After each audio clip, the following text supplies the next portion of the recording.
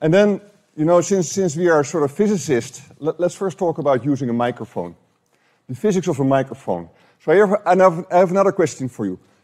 What does a microphone measure? I'd like to hear somebody to speak up, and it's okay to speak up in this room. What, what physical property are we measuring with a microphone? Pardon? You see, I can't hear you. Mechanical vibration. Yeah, but that. So, are we measuring displacement? Pressure, right? There's a pressure sensor in here. Right? So, as we speak, two things are happening. Two things are happening. The first is we're radiating sound, vibrations. The second is, is there's wind coming out of our mouth. And, if, and you know, in, in, in the pre COVID times, I would ask you to put your hand in front of your mouth and say P. And you can actually feel the wind against your hand. Now, the wind is a turbulent jet of, of air. So there's pressure fluctuations in there. We have some background noise. There's pressure fluctuations in there, right? So you want, you want to avoid that the microphone picks up the pressure fluctuations. Now, there's two things in which that happens. The microphone has a little ball at the, at the end that is a wind damper. So it, it, it basically damps the pressure fluctuations because of the wind that you're blowing into the microphone when you speak. This, the second way in which you can avoid the pressure fluctuations is that, your, that the microphone is under the jet of air that comes out of your mouth if I hold the microphone like this and I say P, okay, well, it's not very loud now, uh, you, you, hear a lot of wind noise. Okay? If you have a good microphone, a professional microphone, you can just speak into the microphone. There's not a single university or a single hotel that will give you a good microphone. You always have a crappy microphone, like this one, and if you speak into it, it will pick up the wind noise. And that is why you always want the microphone to be under the jet of air, of, the, of, of wind that comes out of your mouth. So I'm holding the microphone against my chin so I can remember to keep it at the right location because if I don't do it, then my hand will drop and then the volume goes down. And then it goes up again when it gets closer to my mouth. So you, you just let the, the microphone rest against your chin and it's under the jet of air that comes out of your mouth. You don't have to shout, but you still have to put in some volume. Okay, physics of microphones. Um, let's get to interferometry. Uh, so noise as a, as a uh, detecting, noise for detecting time-lapse changes. You know, I, I worked on, on, on, sort of noise for, for quite a while. I thought about wh why is it? And, and I think the reason is, is that the Dutch are very stingy. And it's like we're going through the garbage cans to find something useful in there. So we're looking at the, at the noise and, we, and then we are looking like, okay, is there information we can extract from the noise? Yeah, the amplifier is drifting, I think. Um, I, I, don't think it's a microphone. It's, uh, want to try the one? Yeah. Okay. So it's on. It's on. Okay. Well, the noise is the, it's, it's the amplifier, I think, not a microphone.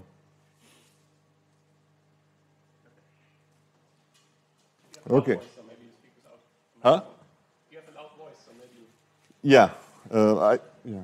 I also have a hearing problem, so I know how, how difficult lectures can be if, you, if the sound isn't okay. Okay, I'll just go on.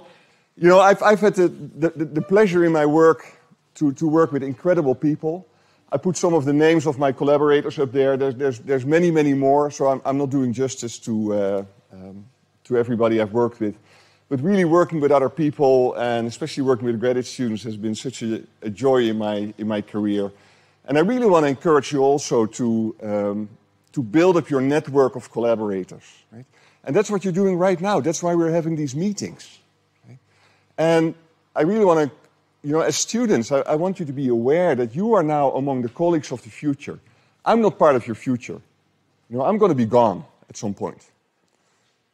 That's the reality but you are still have to have the chance to work together for like decades. So, so use meetings like this to build collaborations, to build connections, because that is really one of the greatest joy of, uh, of, of, of, doing science.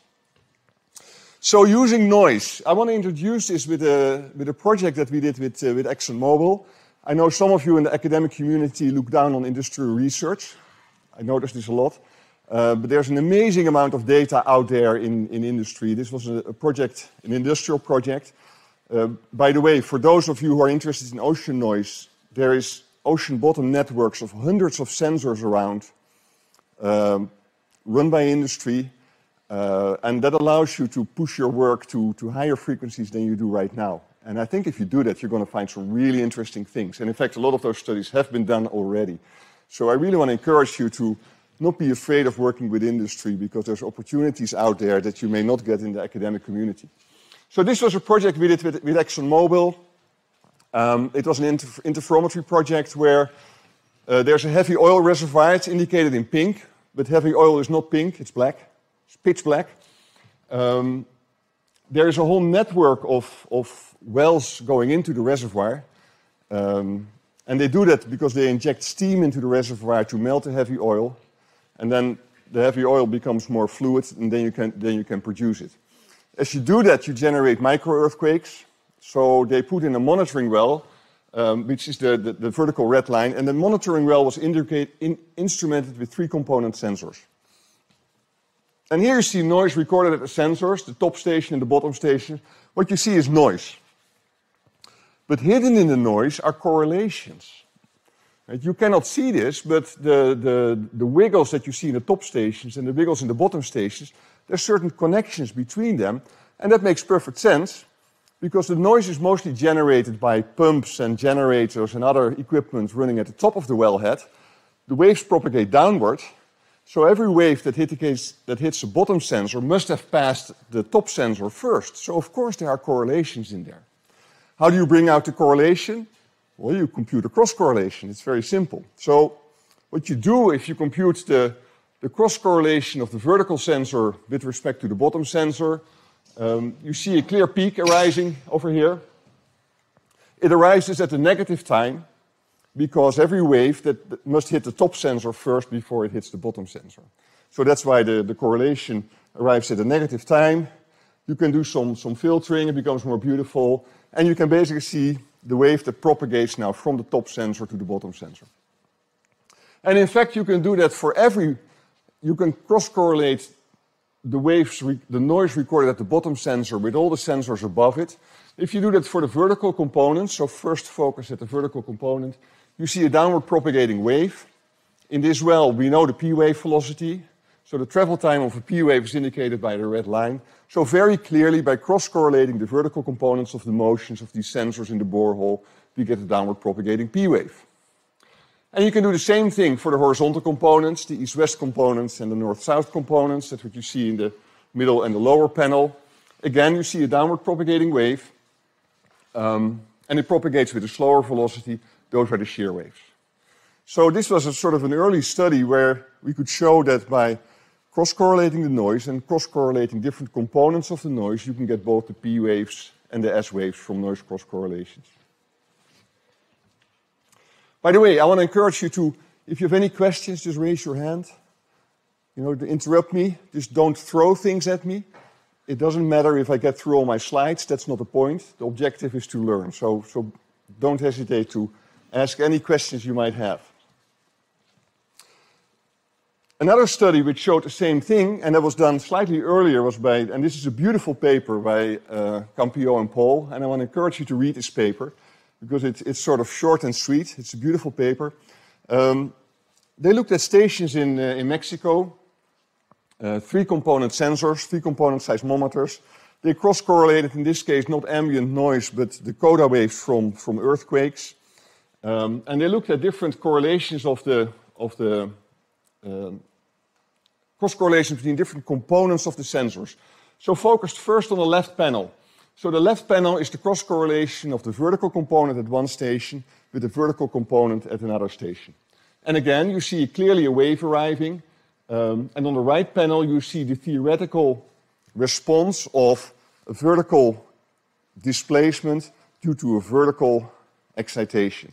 So you can see there also, in this case, they retrieved the surface wave. They retrieved the, you would call the, the, the, the, the vertical components of the, of the Green's function.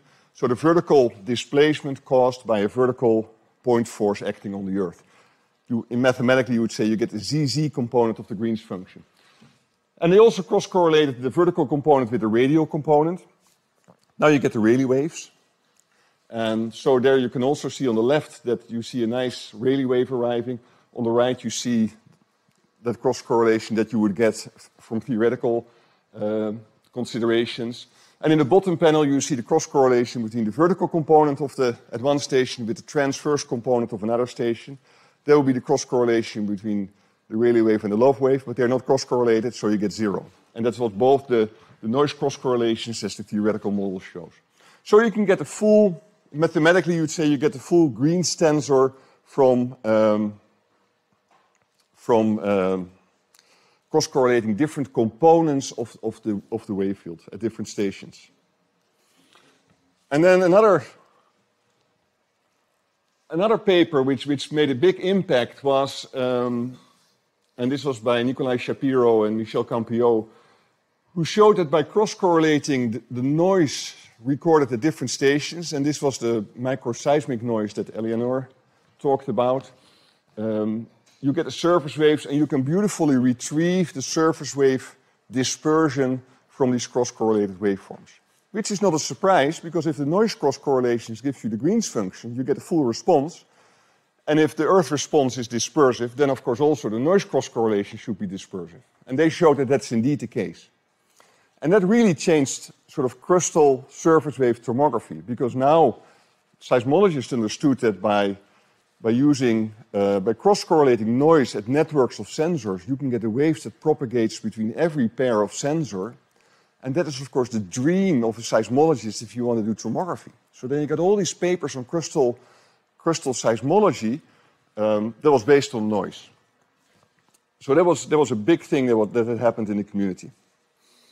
So um, I'm now I'm going to do something at the, at the request of Celine. I'm going to show a derivation. I usually don't show derivations in my talks because they, they tend to be sort of boring. But Celine asked me, they said, no, no, we need, we need to do some of the foundations of, of interferometry. You know, where does the theory come from? And I had to pick. I had to pick because there's many different derivations of deriving, um, if, you cross-correlate noise at different sensors, that you get the Green's function, that you get the response of the waves that propagate between these sensors. There is a derivation based on normal modes. There is a derivation based on noise sources that are located at the surface surrounding your receivers.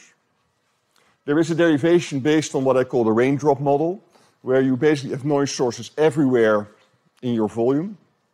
And there is a derivation where you get uh, sort of plane waves coming in um, with uncorrelated noise. So I had to pick one of these four. And I thought, okay, let's pick the normal mode derivation, because in the seismological community, that was the first derivation that had a big impact. And this is work done by uh, Lobkis and Weaver. Uh, and, and I think the reason why they had such a big impact is that seismologists understood normal modes. They understood normal mode summations. I mean, they got it. And that's the, the language that they've used in their derivation for interferometry. But I want to point out that the history of interferometry goes back to 1906. If you read the paper of Albert Einstein on Brownian motion, he shows that if you know how a particle diffuses under Brownian motion, you know the viscosity of a gas. Which really, and if you know the viscosity of a gas, you know how, if, if you kick an air particle, uh, how it is being slowed down by the ambient air. That's the Green's function. You get the impulse response. So really, the whole, the whole core of interferometry is already in the, hidden in that paper of 1906 of Albert Einstein. And I want to encourage you to read that paper. By the way, that's the paper he got a Nobel Prize for not for a theory of relativity. And then there was Nyquist in 1928. He showed that if you take a resistor at a finite temperature and you measure the, the, the voltage across the resistor, you, get, you, you measure noise basically. It's called thermal noise. And he also showed that once you know that thermal noise, you know the resistance of that, of that resistor. You know the response of that resistor when you load it with a current. Again, interferometry. In the 1950s, the, fifth, the, the, quantum community discovered the whole concept of interferometry. There's a whole flurry of papers in the 1950s. And then later there were papers on what is called the fluctuation response theorem.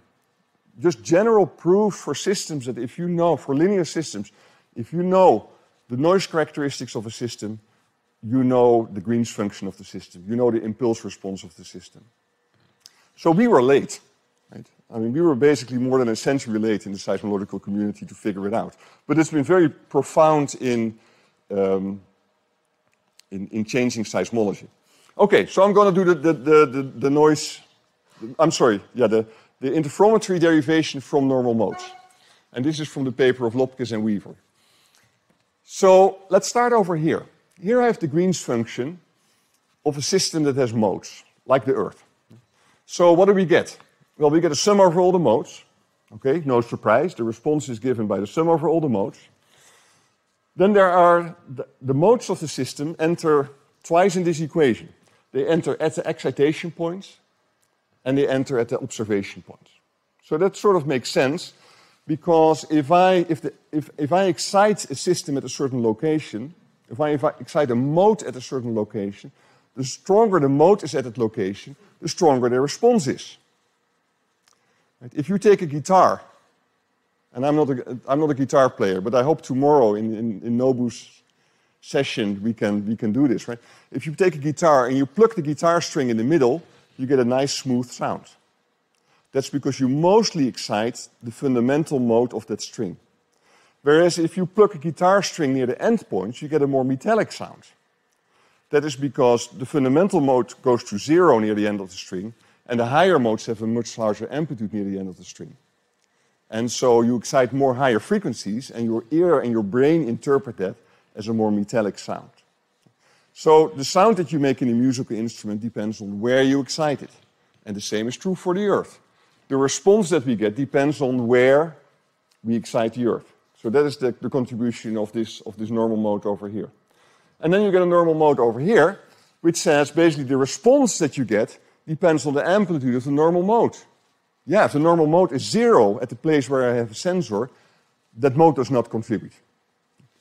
So that, is, that, that explains these two eigenfunctions over here. Then, of course, we get a sine over here that tells you that the normal mode starts fluctuating with time, with the frequency of that normal mode. We get a Heaviside function, which basically is equal to 1 for positive times, it's equal to 0 for negative times. Yes, because the response only occurs after I have excited the medium. And then we get the 1 over omega term, which is sort of, I cannot explain in a simple way. But one of the first things we're going to do is get rid of that 1 over omega term. So this is the Green's function, the impulse response. At the top, we have the wave field as it is being um, also given by a sum of normal modes. So again, the wave field of the Earth, I should use the pointer. It depends on the, on the mode itself. I get a sum over normal modes. The response at a certain location depends on how large that mode is at my observation point, of course. Then I get oscillations which contain a sine term and a cosine term. No surprise here. And again, we get the 1 over omega term. So that, that would be my noise wave field, where now the modal coefficients A and B are random numbers that are excited by ocean waves, anything else that excites the normal mode. So, first I'm going to get rid of the 1 over omega. That's very simple. We just take a time derivative.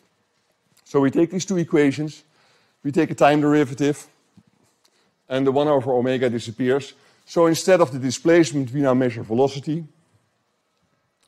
And the Green's function that we're getting is the velocity Green's function, not, not the displacement Green's function. Okay, so now we're gonna we're gonna get some bring some randomness in the model by assuming that in our noise wave field these coefficients that, that describe the excitation of the modes, they're random numbers, they're being generated by just ambient noise. And we're going to assume that the excitation of the different modes is zero when the modes are different, so different modes are, the excitation of different modes are uncorrelated. That's what this delta function describes. Of course, we, there's a certain constant that describes how strongly the modes are excited, of course. We assume the same for the, the coefficients of the, of the sine term over here. And we also assume that the coefficients of the cosine term and the sine term are uncorrelated. So basically what we are saying is every mode is uncorrelated with another mode. or the excitation of every mode is uncorrelated with the excitation of any other mode. That's what we're saying here. And every mode is excited with the same strength. That is called equipartitioning. The energy is distributed evenly among all the modes. Okay? Does this make sense? Any, any questions? No questions? Cheers is shaking no. No, yeah, yeah, yeah. Ah, okay, good. There's a question there. Yes, okay. For the Earth, this is an illusion. And I'll explain it to you in a second. So I'll come back to your question, because for the Earth, not all the modes are excited in the same way. And that is affecting the practice of interferometry. So can I come back to your question at the end of the derivation? Because this is a great question. I love it. Because mathematically this is true, but this is an illusion when it comes to real Earth, and I'll explain to you why. I love it. Thank you.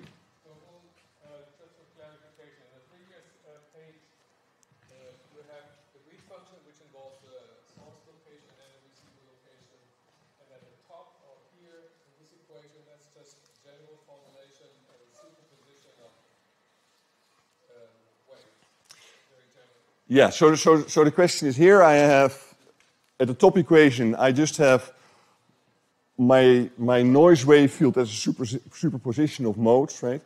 In the Green's function, we get, of course, there, there, there's, there's two positions in there. There is the, the position of the excitation, and there is the position of the observation. So we, we, we will connect these two in a minute. Yes. So bear with me. But thank you for asking. Um,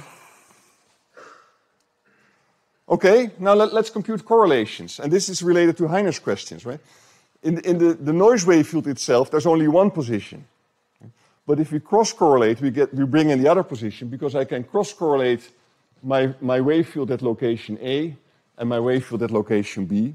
And I can compute the cross-correlation between the noise wave fields recorded at two different sensors. So now we bring in that second position that we need to make a connection with the Green's function. So you were a great sidekick, uh, Heiner. Um, okay, and I can do that. I can do that, of course, for this is the this is the, the cross correlation. I can do that. I can now take the velocity field at these two sensors, and I can express it again in that expression that I had before of the sum over normal modes. So now we compute that cross correlation, and every it gets a bit messy now. I, I Usually when you do math, by the way, you first create a mess and then you clean it up again. Right? So that's what we're going to do too. So you cross-correlate these wave fields. Every term here, these wave fields consist of a cosine term and a sine term, and I multiply them, so I get four terms. Cosine, cosine, cosine, sine, sine, cosine, sine, sine. And then again, I get these, these, these expectation values of these modal excitation coefficients. So now it looks like we've created a big mess, but we're going to clean up the mess because we assume that the cross term of these different modes that oscillate like a sine and a cosine, the cross terms are, they vanish. And we also assumed that the cross terms of the cosine cosine terms, of, of the an and am terms, they were zero when the modes are different.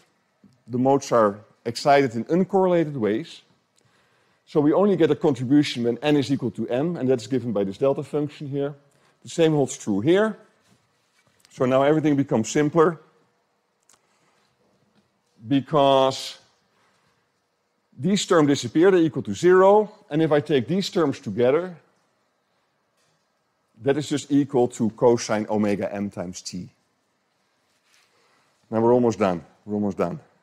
So now you find that the cross correlation of these two wave fields consists the modes at one point, at one sensor, times the mode at the other sensor, times the cosine of the frequency of that mode times the lag time tau that I've used in the cross correlation.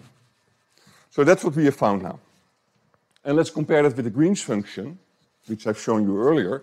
Again, we get a sum over modes, the mode at the observation point, the mode at the excitation point, the cosine of, with the frequency of every mode times the Heaviside function. They're the same. They're the same. So now we see that if we cross-correlate, if we cross-correlate the noise field at different sensors, we get the Green's function, at least for positive times.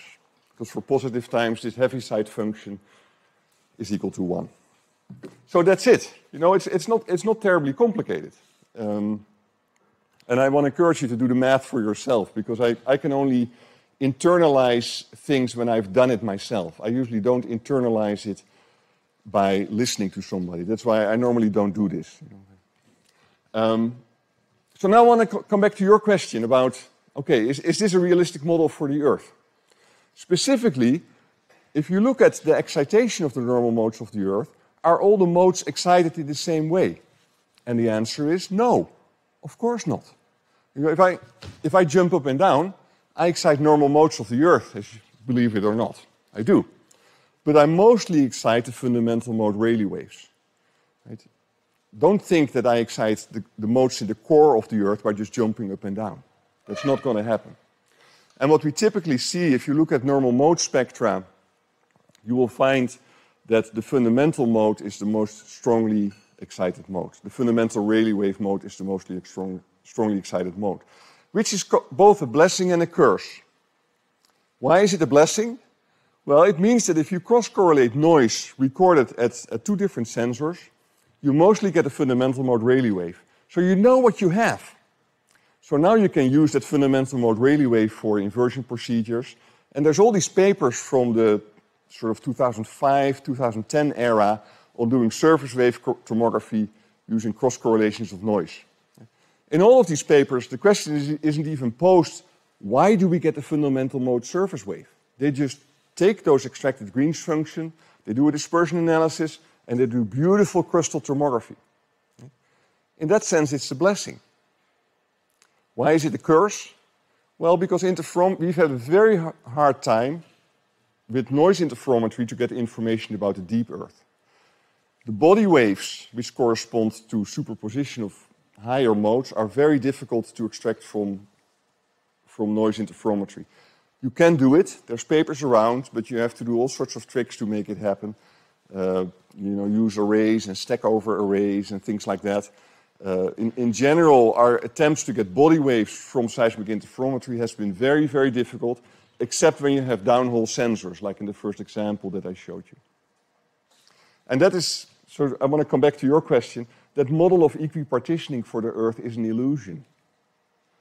You know, the, the, the excitation of noise in the Earth happens mostly at the Earth's surface, and therefore it excites mostly the fundamental surface wave modes and, and sort of the body waves are not excited very strongly. Um, and that is why interferometry has been very successful in giving us information about the, the, crust, the crust. It's not been so successful in telling us, for example, what the structure of the core is, which really is too bad. Any questions about this?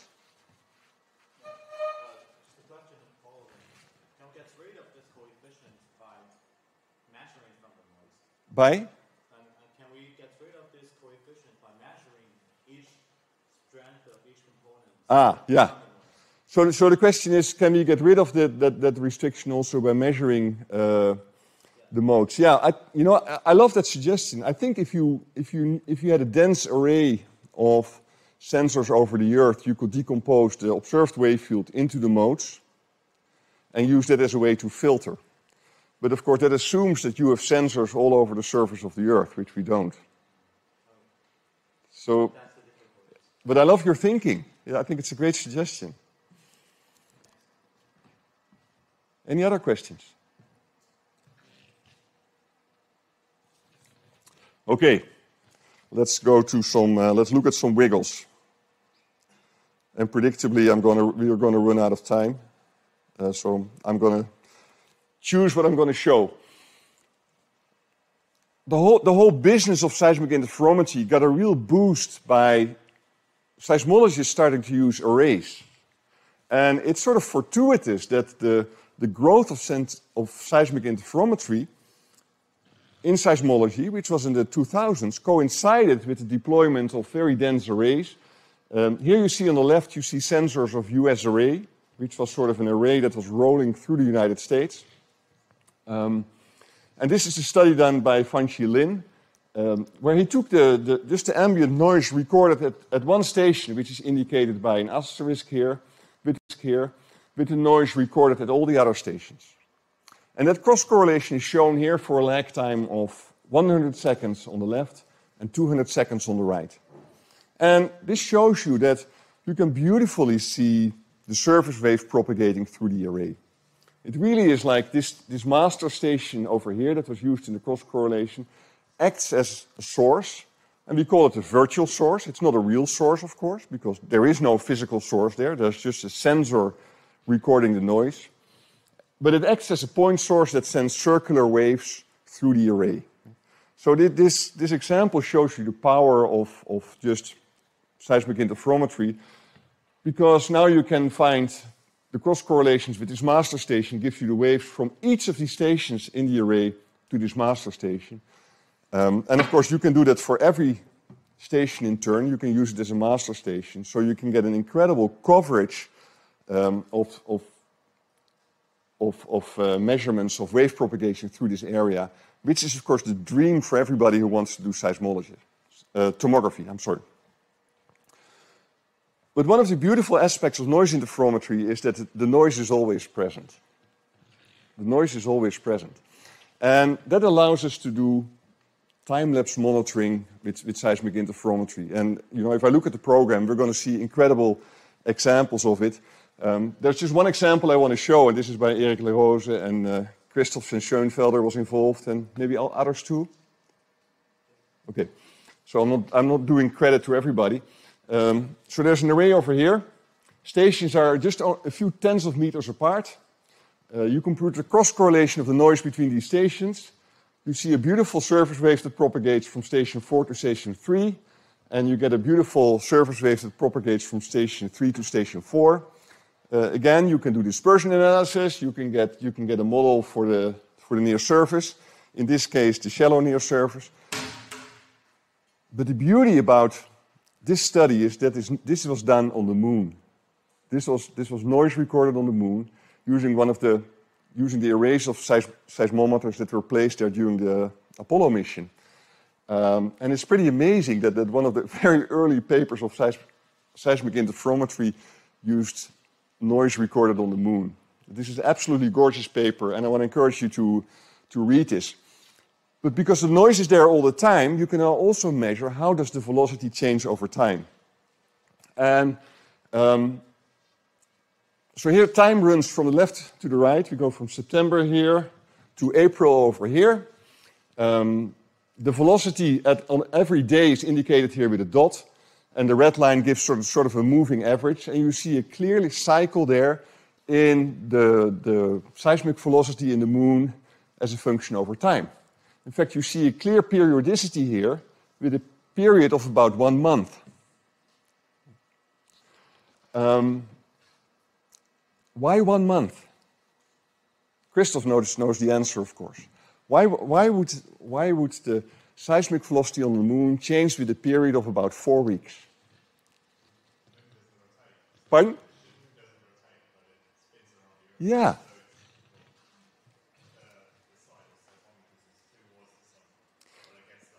Yeah.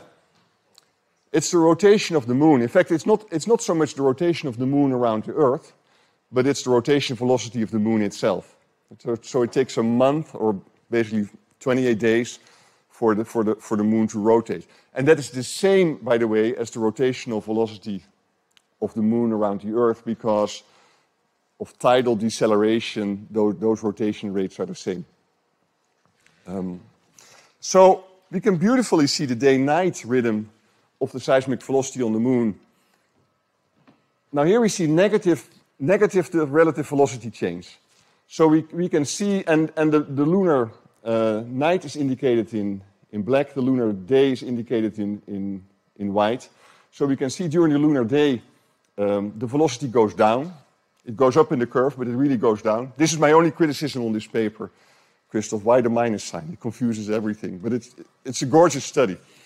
During the lunar day, the velocity goes down. That's because the, the soil heats up, and uh, if you increase the temperature, it becomes less stiff, and so the velocity goes down. Heiner. Two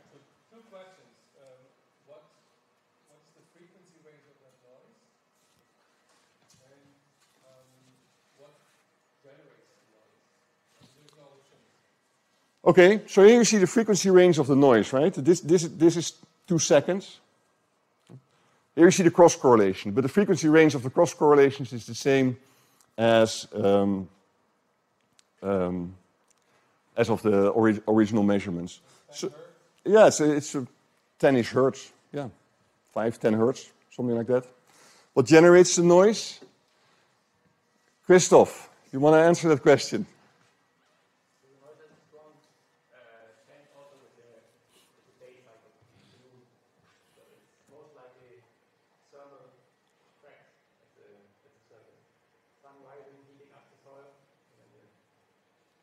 Yeah. So it's, it's crackling noise when the, when, when the, the, the generated by the temperature variation, but there's also, I, I guess there's also meteorites. But I, I, my guess is it's not really known what the relative contributions of the two is.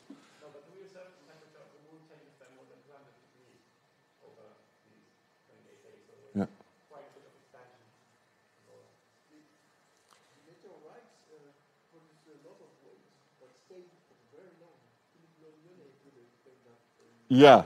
So, so the, the comment of Philippe is that meteorites they will they will they will excite waves, and the attenuation of waves on the moon is very very low compared to the Earth. That's because the moon is much older, it's much colder, lower temperature, which means uh, smaller attenuation. So so relative to to um, to the Earth, the moon keeps on reverberating for a long time after you have excited it. This is your place, uh, Ludovic. You, you don't want to study Earth, you want to study Moon. Because you get, you get very strong coda waves. I'm sorry?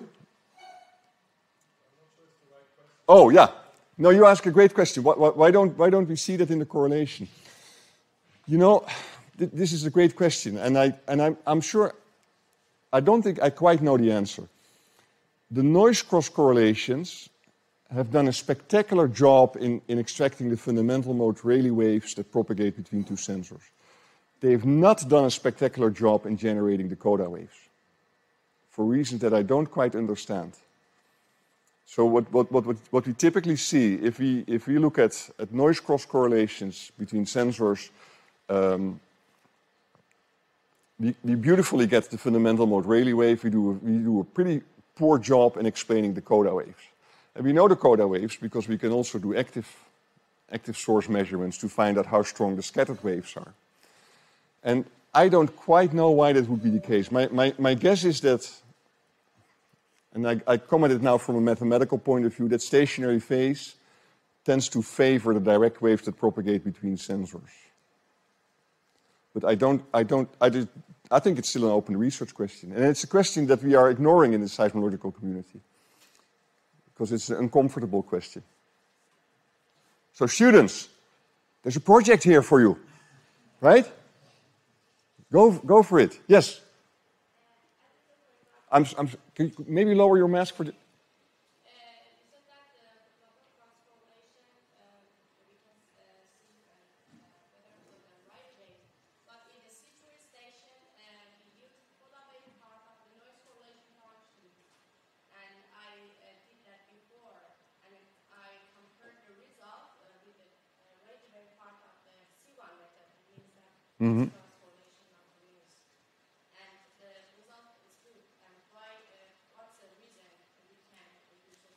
Okay, so you're saying you are retrieving the coda waves from noise cross correlations?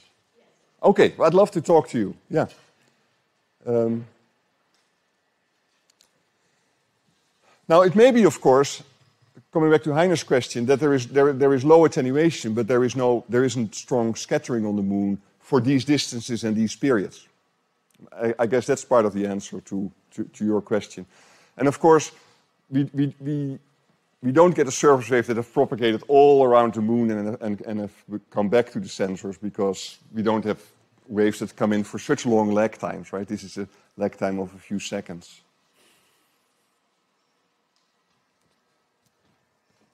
I don't know. Know, by the way, th those are words that we shouldn't be afraid to speak. We always present our research as if we know everything, because we look weak if we say, I don't know, and reviewers may attack us. But I think good research generates more questions. And we shouldn't be hesitate to say, okay, this is what we know, this is what we don't know. But, but, but the, the, the system of publishing does not encourage that. And so, I, but I want to really encourage you to also to talk about, especially in meetings like this, what is it that we don't know? What are the open research questions? Because that is what drives the research for tomorrow. Okay, I'm looking at the time. I'm to run. I'm to skip a lot of slides. That's okay. Um,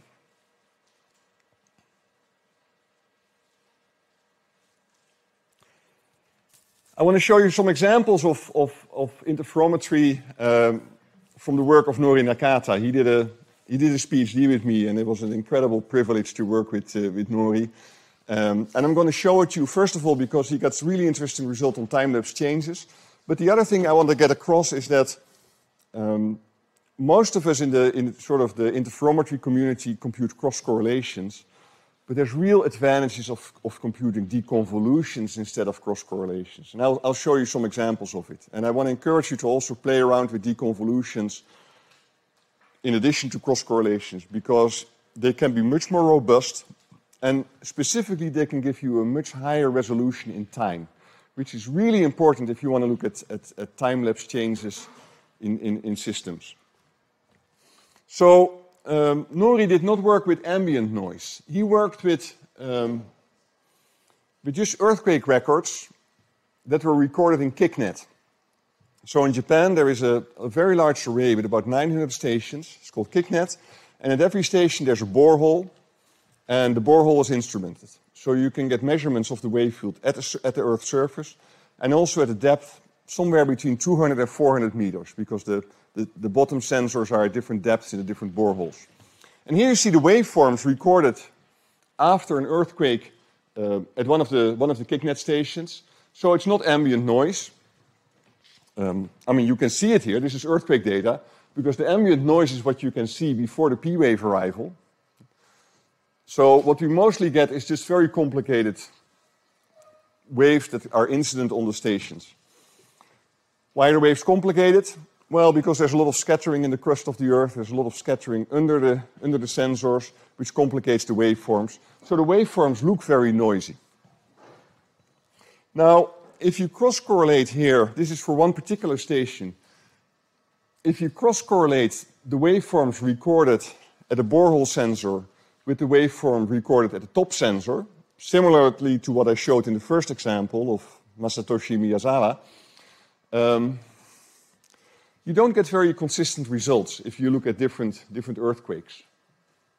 You see a peak over here, but you know, it, it doesn't really stand out. So this is what cross-correlation gives you. If instead of cross-correlation you use deconvolution, this is what we get. And we, we can see that we get a very nice, consistent, consistent peak uh, at a given travel time.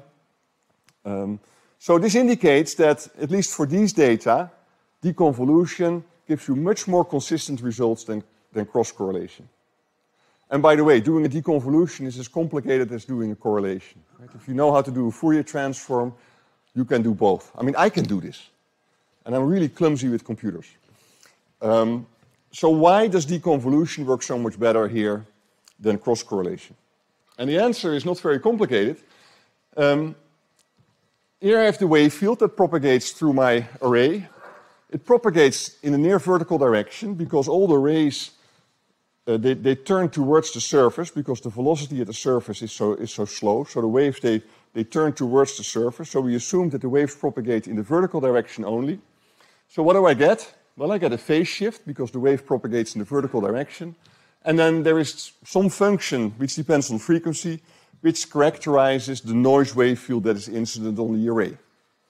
This is a very complicated function that we don't know and that we don't want to know. We want to know this wave propagation term. That's the objective.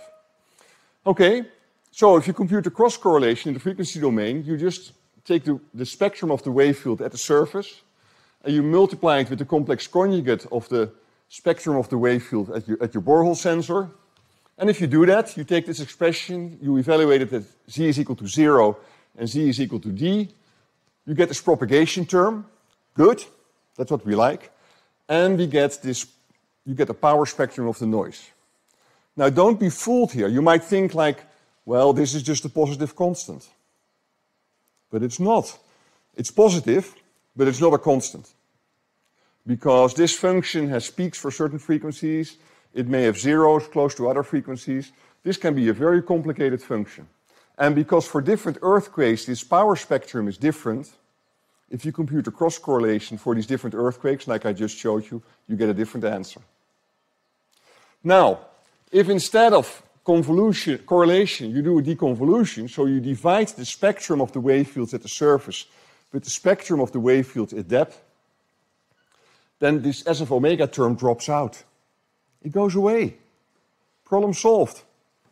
And you find that the deconvolution only depends on the propagation of the waves between these two sensors, and it doesn't depend at all on the, on the characteristics of the noise wave field. Yeah, the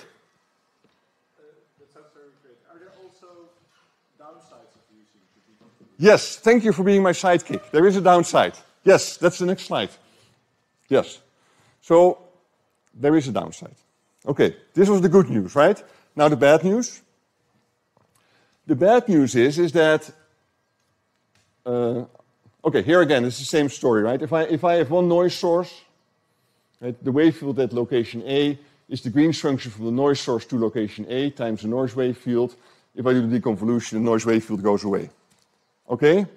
What if I have two noise sources, meaning there's waves coming in from different directions? So not only a, a vertically propagating wave, but there might also be, for example, a Rayleigh wave propagating through my array. And now you can see it falls apart because now the wave field at each sensor consists of a contribution of these two, two noise sources. If you go through the whole thing, you do the deconvolution, the, the S terms, which characterizes the noise, doesn't drop out anymore because there's an S1 and an S2. So the deconvolution interferometry typically works when I have noise coming in from one direction only. But for one-dimensional systems, this works really well. You know, there's, I've, I've done a study in a building, analyzing the vibrations in the building in this way. It's essentially one-dimensional wave propagation. It works great. I mean, deconvolution interferometry does, gives me incredible results. Correlation interferometry gives me crap. Same thing might happen with bridges and other structures where the wave propagation through every structural element is essentially one-dimensional. Great question. Thank you, Tjeerd. Okay, I just want to show you some result of, of time-lapse changes. Here again, I, I, show you these, these, these wave fields in, retrieved from deconvolution. Um, since the, the structure at each of these wells at KiK-net is known, we can compute the propagation velocity of a shear wave. That is indicated by the red line.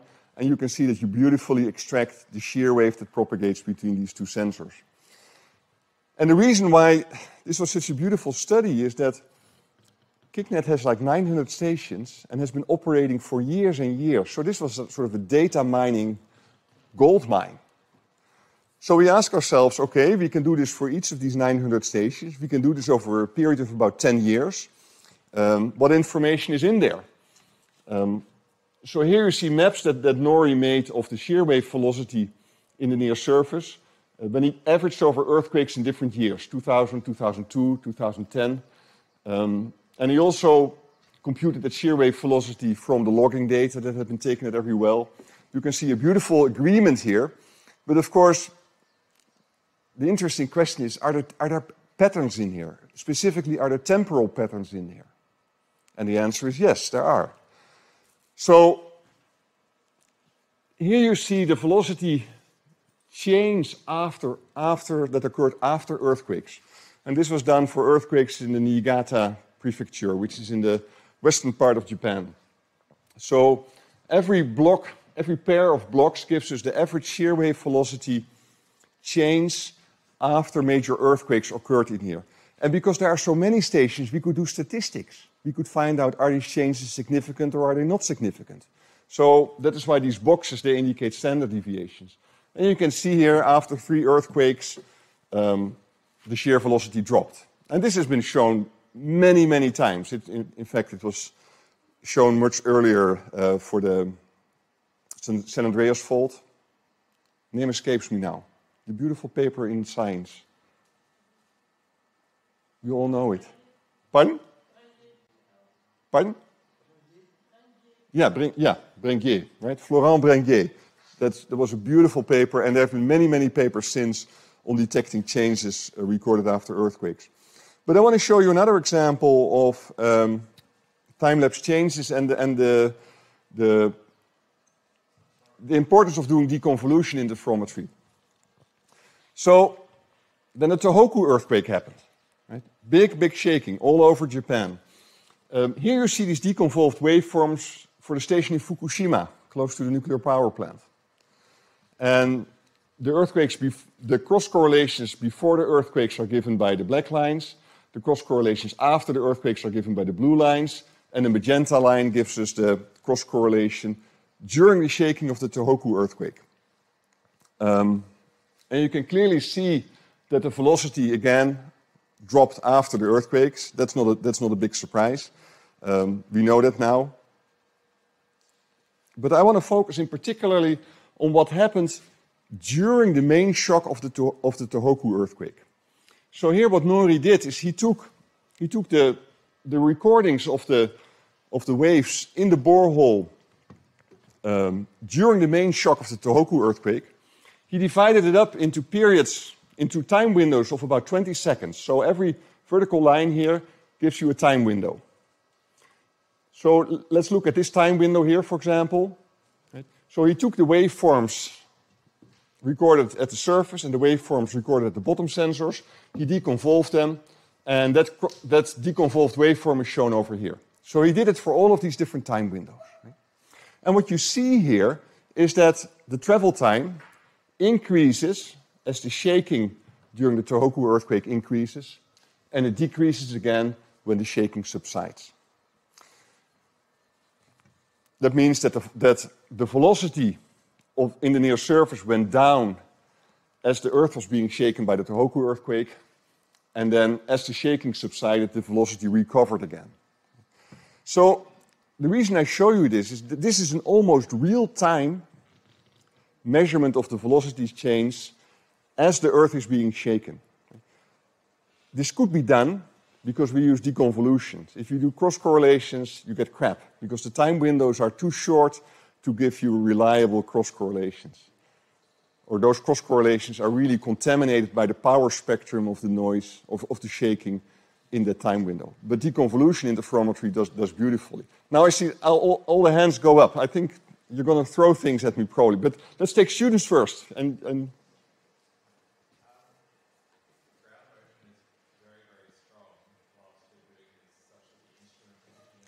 Yes. Yes. Yeah, so this is a great question. So your, your question is, and, and I've, whether, um, because the ground motion is so strong, whether there is, that may affect the response. And, and I love that question because I, I worry about this. And, and this is my concern. If the ground motion becomes stronger and stronger, at one point the instrumentation may come become non nonlinear. And the nonlinearity may be different at the surface sensor than the bottom sensor. It probably is nonlinear at the surface sensor than the bottom sensor because the displacement at the surface sensor is larger than it is at the bottom sensor. And so nonlinearity might, uh, might cause the response of these sensors, the bottom sensor and the top sensor, to change in different ways. And, and that could that would affect your deconvolved waveforms. By the way, it would also, it would also affect the correlated waveforms. It, it's the same, if the same problem. And I've worried about it, and, I, and I've talked to a lot of people who know about instruments. I don't, you know. I mean, for me, they are black boxes that give me, give me wiggles. They all tell me, no, for these, for these accelerations, you don't need to worry about it. But I'm not completely at, ease, you know. I would love it to have to do a test with these sensors, put them on a shake table, and find out the degree to which these, response, these instruments still respond in a linear way? It's a great question. And I don't know if you covered this last week, but this is, I think, an open question. By the way, I've also done similar studies in, in buildings, and we also find that, that as buildings are swaying during earthquakes, the apparent shear velocity of the building goes down as well and recovers again. And I, and I worried about your, your concern. But the, the, the instrument buffs tell me, no, for these accelerations, you don't need to worry about this yet. But great question.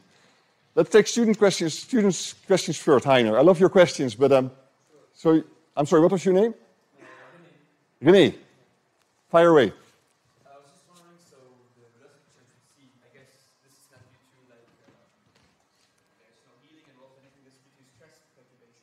Mm-hmm. Mm-hmm. Mm-hmm. Are you asking the, the process, what's happening here? Yeah. Well, okay. So the, the travel time increases, which means that the shear velocity decreases. I think there's different mechanisms that, that, that, that contribute to it. One is that if you have uh, pre-existing cracks, which you always have, and now you start deforming your medium by the waves, you may, you may open up more cracks. That would decrease the shear velocity. What might also happen is that because of the, the shaking, you get a little bit of compaction. Right? If, you, if, if you take, let's say, a box of sand and you, shake, you tap it slightly, it may compact a little. If there's fluids trapped between the grains, then the pore pressure increases that pushes back against the grains and that, and that softens the shear contacts between the grains. And, and this can be so severe that the, the soil may actually liquefy. Right? And, and this is what you saw during the Tohoku earthquake. You know, there was a lot of liquefaction. It basically turns into blubber. By the way, I want, I want you to, if you go to the beach, and I hope you'll go to the beach this week, I'd like you to do two things. First of all, if you, if you put your foot on the sand, you'll see that the sand becomes dry around your feet. So what happens is that you deform the sand a little bit in a way that the pore space increases, and that'll make the, the water table go down, and then the surface of the sand becomes, becomes dry. You can do this. But if you tap the sand with your feet like this, you'll see that it, it starts to liquefy. So there you are perturbing the sand in a continued way, so that the sand actually compacts and then the pore pressure increases to the degree that the sand turns into a liquid. I mean, please go to the beach and, and do this. It's a lot of fun. Let me see. Yes. I'm, I'm sorry, Tarjay, but students go first. Uh, yeah. yeah. Yeah.